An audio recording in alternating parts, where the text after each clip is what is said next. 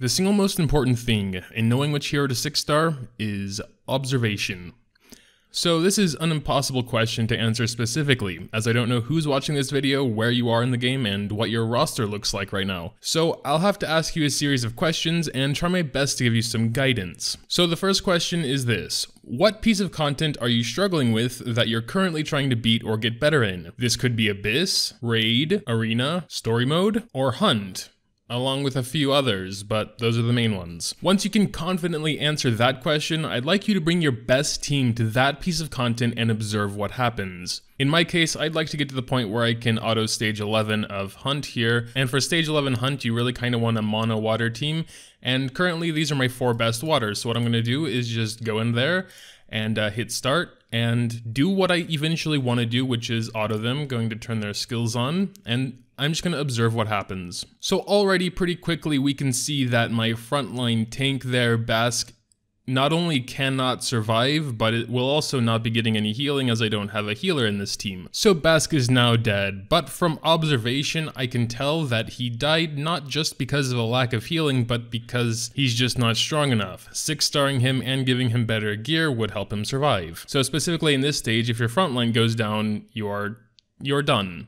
So in this example here, my very first step would be to get a strong front line, whether that's Bask or another good front line like Angelica, or some other water hero with a defensive or healing nature would be my first priority. Second priority then would probably be getting a strong healer, followed by a defense breaker, etc, etc. However, we're talking about a unit you have already invested in up until 5 stars and trying to decide which to 6 star. So let's first discuss what happens when you 6 star a hero. The only thing that happens is that their attack, defense, and health increase. This means, as a general rule of thumb, DPS are going to benefit much more from being 6 starred because attack, defense, and health are all important to them, whereas tanks and healers, it's really only defense and health that are going to be beneficial. So in most cases where enemies can choose to attack whoever they want to, your 5 star healer or tank don't necessarily need to be 6 starred as a top priority. In fact, most would agree they are the last priority. So in my opinion, the most important 6 stars are going to be your single target DPS. For this case, we have Luna here. She hits one enemy with all of her skills. And the reason why single target DPS is so important is because in most content, there is the boss. And once the boss is dead, everything is dead. And single target attacks naturally just do more damage than AoE attacks. So if you're a little bit further along in the game like I am with uh, quite a few 6 stars to choose from, then that rule kind of goes out the window, you know? I already have several single target DPS, so what's kind of like the next priority then? So moving on from the first question about the piece of content you're struggling with,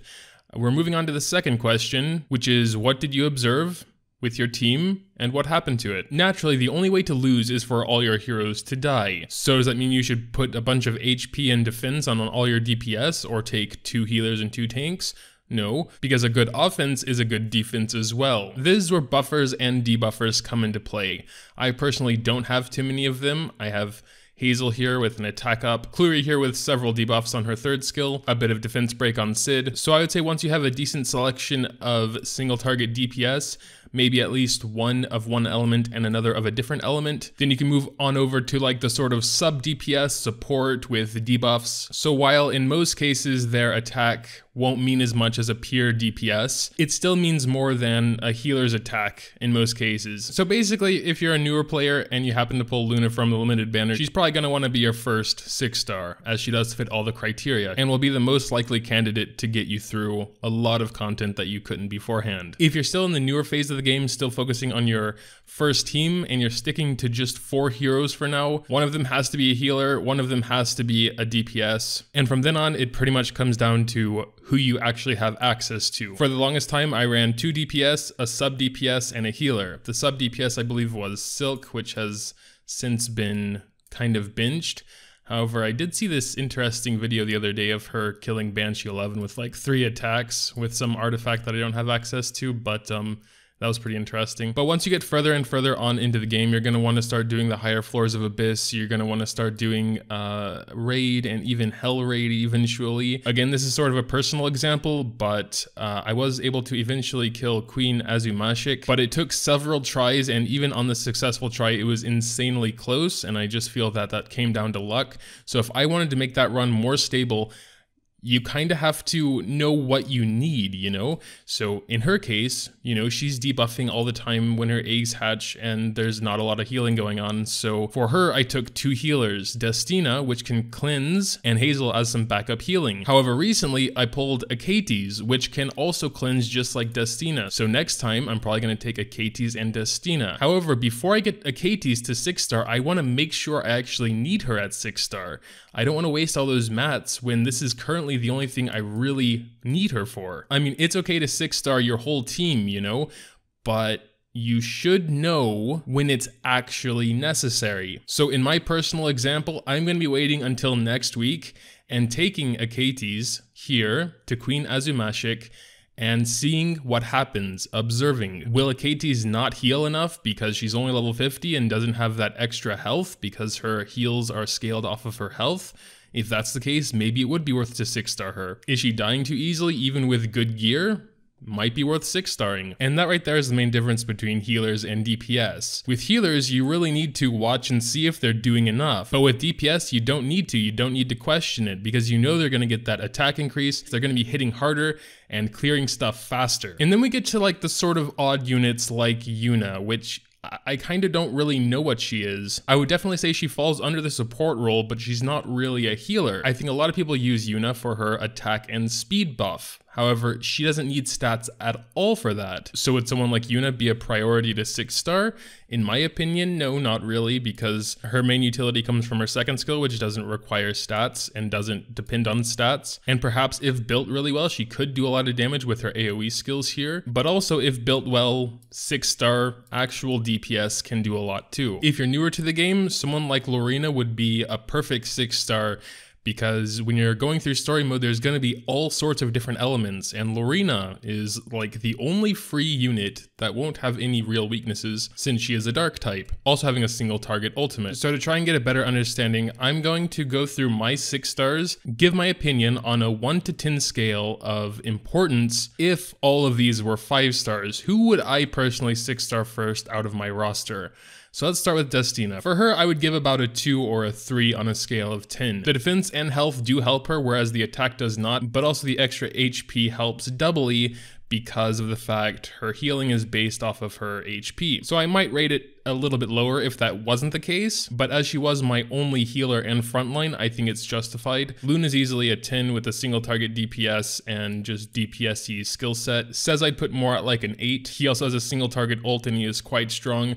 He's also quite good because of the fact he has AoE with his first skill and can help you uh, run through stages faster. So especially if you're a newer player, I'd put him actually a little bit higher, maybe nine. Ravi, I'd go with the seven or maybe eight, seven and a half. Cause while she definitely can do tons of damage just with her basic skill, her ultimate is a little bit underwhelming considering you need to have that fighting spirit to even use it. Regardless, her basic skill is incredibly strong. For Sid, I'd have to put him pretty high on the priority list because not only does he have a single target pretty powerful ultimate skill, but he can also defense break and increase his own speed. So I'd have to give Sid at least a 9.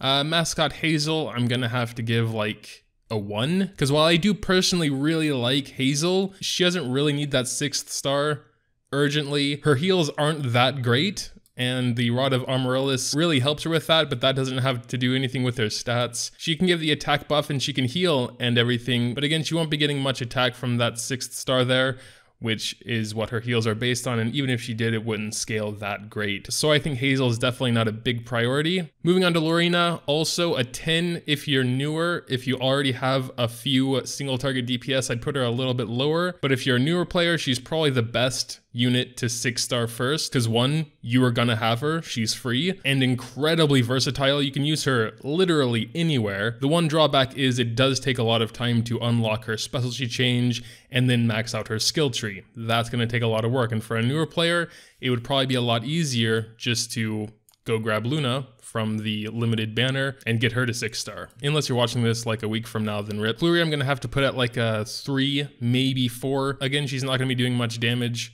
unless you build her that way for some reason. She's definitely more of a support, a debuffer, a very, very good debuffer, but I would say she doesn't really need that six star more than anyone else. So to summarize, I would say single target DPS first. They're gonna help you with the hard stuff, killing those bosses faster before they can really do bad stuff to you. And then sub DPS debuffers like Sid, where he can still do a lot of damage, but also debuff. And then you'll want to move on to your more support based debuffers and then finally healers. Unless of course your healers are the bottleneck to your team and they're the ones dying first, which would specifically be the case for Hunt Stage 11, maybe some other stuff that heavily focus the front line. But I would say in general, the healers are tanky enough at 5 star if you give them tanky gear. But yeah, feel free to leave your own team composition in the comments down below and ask for advice because that's about as specific as I can get without knowing each individual person's team composition. It takes a ton of resources to 6-star someone so I can understand being a little bit unsure about it. But yeah, make sure to tell me what you think in the comments down below. If you did happen to enjoy, a like would also be greatly appreciated. Thanks, as always, for watching, and until next time.